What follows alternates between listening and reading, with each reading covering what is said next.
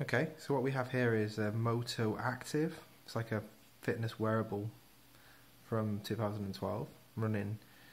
It ran on like a, a version of Android. Anyway, I'm trying to get Destiny running via Stadia, and after trying lots of different browsers and messing around quite a bit, as you can see, I've managed to get something working. So this is me in Destiny. As you can see, once I select things with my finger, it is acting like mouse input. It's it's pretty crap, but it's kind of kind of cool at the same time that this device is, you know, in some way displaying Destiny. and you can see some players are online there. Beautiful.